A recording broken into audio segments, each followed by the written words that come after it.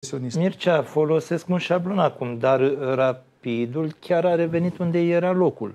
Așa este. Și începând Unde de era acum- locul, mă? Era locul pe la Nu, nu, Ghina, nu, nu, pe la... ascultă-mă, Unde era ascultă-mă, locul? Robert. Acum trei ani nu era nicăieri rapidul Păi nu, ăsta. Nu, Nu, nu, a nu. revenit acum. A unde- revenit, A a revenit, revenit, a revenit era dar locul. unde a fost acum 20 de ani. Acum unde a fost 20 de ani Pe vremea și- lui Copos, când se câștiga un campionat, când aveai baza de la ProRapid, Când mergeai când în îți cupele permitai niște europene. salarii, mergeai prin cupele Da, da, europene. tu faci acum Da, da, ai pașii pierdut 20 de corecți. ani.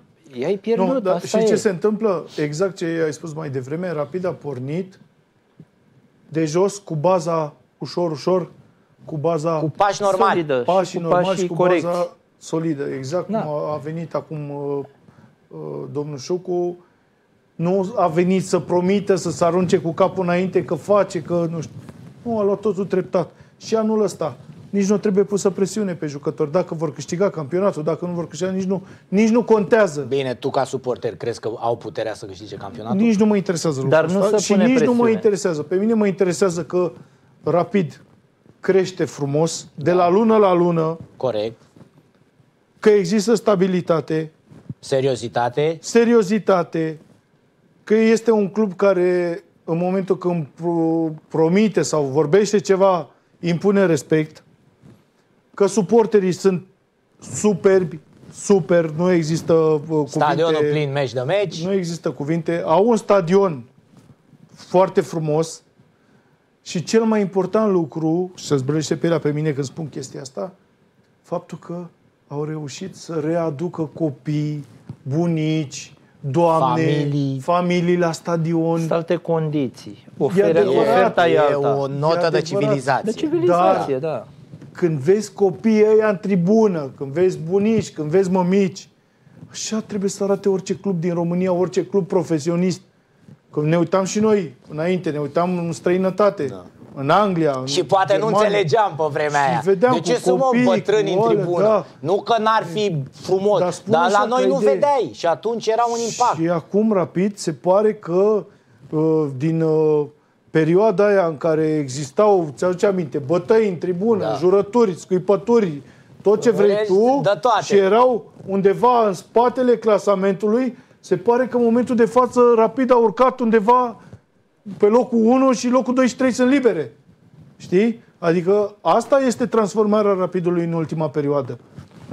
Plus, și nu poți decât uh, să te bucuri. ca Plus suporter Galeria rapidist. Rapidului, uh, acum, și nu vreau să pară că dau bidinele. Ți-aduc acum- trafaletele? Nu, nu, nu, chiar e real. Uh, atât la handbal cât și la fotbal, pe unde merge Galeria Rapidului, uh, mă rog, dincolo de unele scandări sau înjurături, sunt că nu peste suntem la tot teatru, asta, mă, ce- dar lasă în spate o doză și o urmă de civilizație. Să nu uităm că au scris toate zilele din Ungaria. Când au strâns, că au făcut precum japonezii. pe Exact, ăla, și da. sunt multe chestii Da, care, frate. astea ce denotă? S-au schimbat Care vremurile. acum Da, sunt vreo- alte vremuri. clar. Ți-aduce aminte, Nici nu te acum ceva gândeai la timp nu- ele, nu nu te că nu gândeai. sperai să se întâmple vreodată. Iar asta spun, că trebuie să ne bucurăm. Nici nu mai contează dacă vor câștiga, nici nu trebuie pusă presiune Dar pe nu ei. e, Mircea, Chestia asta cu titlul. nu e nicio presiune. Cum să nu fie presiune când patronul spune locurile 1-3? Păi ai altceva. Păi Unul, nu e trei. presiune? Nu. Cum nu? La cum e Păi Rapidul, dacă acum termin nu. pe 4, Păi nu termin nu pe ești în patru. obiectiv. Nu termin pe 4. Mă rog, nu e dar- presiune de titlu, atenție. Din punctul meu de vedere, De titlu. pe mine, îți spun sincer, eu care ca fost jucător și ca suporter al echipei Rapid, așa văd eu lucrurile. În momentul de față, să mă bucur de ceea ce, Ce este? De moment. este și de momentul ăsta bun al Rapidului. Ți-am zis, nici nu contează dacă câștigă titlul sau nu-l câștigă. Doar că, din păcate, mai sunt și... Domne, n-ați bătut bă la Sepsi. Și îl întreb, băi, dragul meu, când a luat uh, ultima oară bătaie rapid? Păi, uh, nu mai țin minte. Păi asta nu-ți spune Da, da, nimic, mă? echipa venea după un joc foarte bun cu Sunt, da, FCSB-ul Ascultă-mă. și așteptările Să-ți erau explic altele. ceva.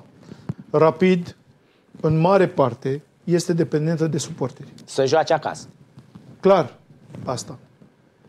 Dar să aduci și puncte de afară și să nu pierzi de atâtea meciuri. Câte meciuri au? Sunt vreo 8, Opt sau nouă meciuri. 7, nouă, 8 nouă. meciuri sunt. 9 meciuri. Și să bați... Nu e îl pune și ușor. pe ăla din cupă.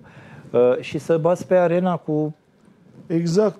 Nu e 40 de ușor. mii de Deplasare, cetățeni. în Care deplasare, deplasare? meci în deplasare. Și atenție, o echipă care a fost preluată de Bergodi. Cu patru zile înainte de începerea patru zile de campionatului. începerea corect, campionatului. corect. Deci, da. despre și ce vorbim? unde implementează în primul 11 niște jucători care cu mutul nu erau. Care face niște transferuri Robert, care... Ce mai uită lumea, uh, chiar vis-a-vis de meciul cu Sepsi? Băi, oameni buni, înainte de partida cu FCSB, toți eram cu moralul la pământ de la conducere, la antenori și așa mai departe. De Cu ce? accidentări. Rahmani, Petrila, Emers. Corect. Trei piese de bază. corect. Ai bătut pe FCS, dar tu, tu tot n-ai cele trei piese de bază. Așa e. Păi frate, cât crezi că Da, poți da, să l-ai, duci? pe, l-ai acum pe Lucasen. Și l-ai avut și cu, fe, cu, Nu Lucasen, cu uh, Lucasen, Tsumu. cu Tsumu. Tsumu. L-ai avut și cu, cu, la meciul cu Sepsi. Da, ai avut ce dar i-a foarfecă avut, da. frumoasă a făcut? A făcut foarfecă frumoasă, dar hai să nu uităm, omul ăsta vine, n-a mai jucat de atâta timp, la nu poate Rapid. să-ți între ca Rahmani. Rahmani măcar venea din competiție. Da, ți-am zis. Corect. Suporterul rapidist, din punctul meu de vedere, ar trebui să se bucure pentru ce este rapid, pentru ce se întâmplă la rapid, pentru că noi știm să, noi știm să facem și diferența, că am trecut prin Liga 4 Din purgatoriu. prin uh, faliment. Noi prin, ne-am uh, întors din iad, Mircea. Tu știi foarte bine și știi, Lucică, Corect. prin ce am trecut noi. Că am jucat uh, un an de zile fără un salariu, fără nimic. Ți-aduce aminte? Uh, jucam pe două sticle de apă plată. Dacă câștigam, ne dau două sticle de apă plată.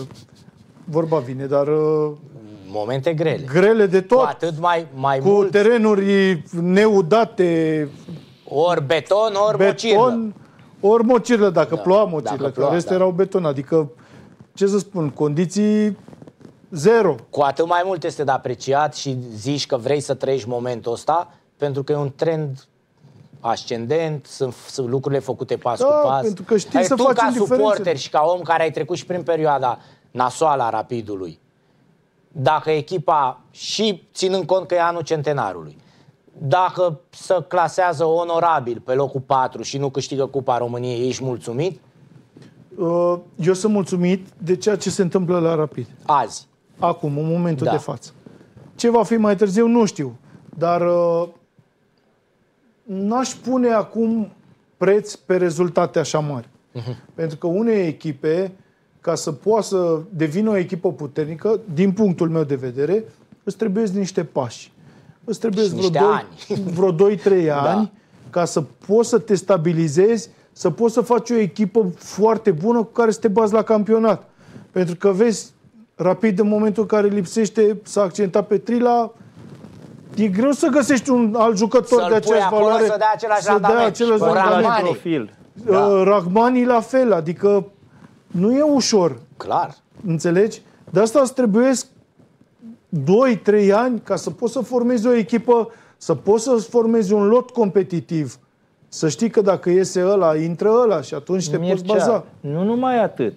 Uh, pentru că nu vorbim doar de construcția unei echipe. Noi acum vorbim de reconstrucția unui club. club, club, un așa club, este. frate. Care și acolo ce e în spatele echipei și acolo sunt niște oameni, sunt niște posturi care trebuie acoperite, care trebuie acoperite cum Corect. trebuie. Sunt posturi care apar noi și trebuie acoperite. Așa Adică, este. Da, organigrama clubului suferă și ea o păi modificare. eu mă gândesc cât, uh, câți eram Câți în Liga angajați 3? erați în Liga 3, apropo? Câți oameni, nu știu, angajați dacă... Ba, angajați până la urmă, că lucrați la un club, nu? Uh, stai așa, dincolo de echipă Dincolo și de, staff. de lot, staff Vorbim și așa mai- administrativ. Da, Păi, uh, cam vreo 5. 5. Cam vreo 5 în Liga 3 Și la sub, Superliga, acum, Acum mi-e greu să... sunt peste 30? Mai mult. Mai mult. Mai mult. Păi Deci- dar numai fanshop-ul are vreo 8 persoane. Sunt Deschidem cam în gara peste de nord. 50. Da, Da, peste da. 50. Deci e o transformare a clubului din toate punctele O de să vedere. mă uit la listă, că avem team building vineri și o să văd uh, exact. Exact uh, numărul, cât dacă vin suntem. toți. Da, păi